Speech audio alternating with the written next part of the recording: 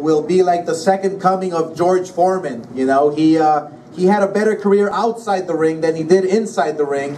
Um, he has a fabulous story. He is inspirational. Um, he's one uh, one fighter that you can look up to, not only inside the ring but outside the ring. So let me introduce to you the executioner, Bernard Hopkins.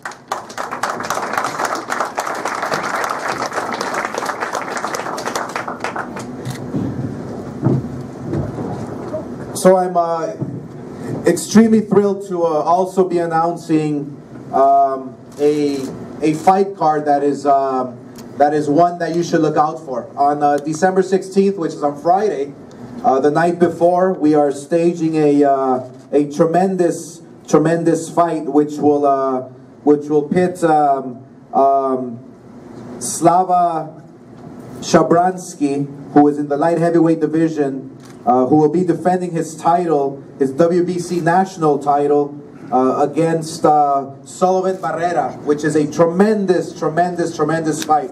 That'll be live um, at the uh, Fantasy Springs Casino, and so we are uh, we are thrilled that we can uh, put that on for you. For the fans there at Fantasy Springs Casino and on HBO Latino.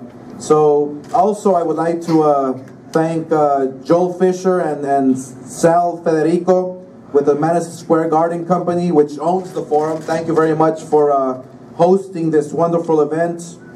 Fantasy Springs Casino, thank you very much for hosting uh, uh Slava versus uh, Barrera. And obviously HBO, which like I said, is the uh, best network for, by far, for boxing today.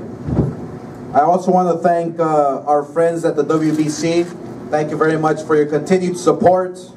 And like I said before, uh, this is not possible without uh, our friends, our colleagues, uh, the promoters who make this happen, uh, like Star Boxing, like Main Events, and K2 Promotions. Uh, Golden Boy Promotions is thrilled to be working with you on, and putting on the, the best fights that the that the fans deserve. Lastly, um, the sponsors, thank you very much, Tecate, um, who uh, promotes every single one of Golden Boy Promotions events. Uh, you have been there uh, uh with us uh, from the beginning, so we thank you for your uh, continued support. Also, Casa Mexico Tequila, thank you for your continued support. We are thrilled that you are on board with us and for the long run, for many years to come. Um, at this point, I would like to uh, call up to the podium um, the